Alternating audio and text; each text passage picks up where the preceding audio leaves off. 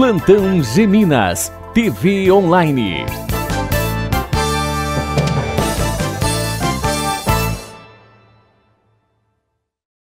O governo municipal está oferecendo cursos gratuitos para a população através do Pronatec, Programa Nacional de Acesso ao Ensino Técnico e Emprego. Eu estou com o Claudinei. Claudinei, qual que é a importância dos cursos? Bom, na realidade, o, o, prefeito municipal, o Jarbinhas, ele solicitou para que a secretaria desse ênfase à questão da capacitação profissional para a comunidade em Gospé. Porque para a geração de emprego é necessário, primeiro, a capacitação das pessoas para ofertar essa mão de obra capacitada. Tá? Então a grande importância na realidade é essa, é capacitar a nossa comunidade, o nosso público que a gente atende aqui, de certa forma toda a sociedade, para que eles estejam aptos a ter o primeiro emprego ou um, um emprego melhor, na realidade. Soraya, quais são os cursos oferecidos?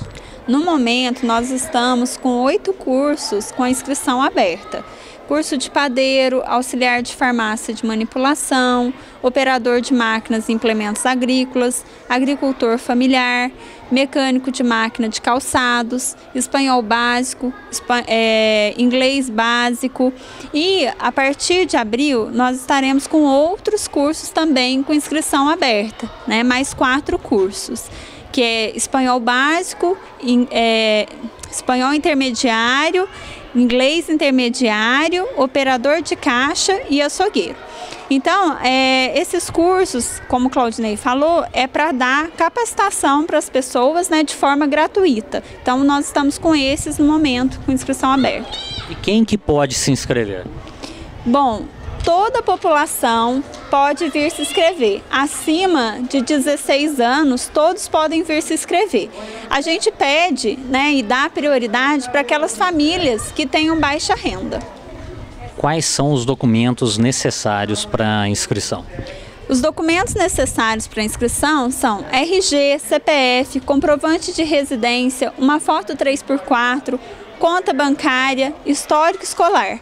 Por que, que a gente pede conta bancária? Porque os cursos do Pronatec, as pessoas recebem uma, uma quantia em dinheiro como um subsídio para dar um apoio para essas pessoas fazerem o curso. Então a gente pede também co conta bancária no nome do titular que for realizar o curso.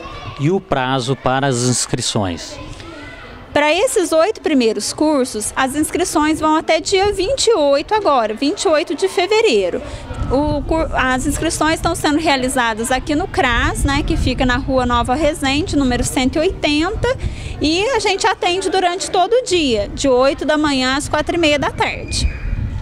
Obrigado, Claudinei. Obrigado, Soraya. Quem quiser maiores informações, entre em contato pelo telefone 3559 1082 ou aqui no departamento social que fica junto ao CIEG. E continuem conectados que voltamos a qualquer momento com novas informações. Plantão Geminas, TV Online.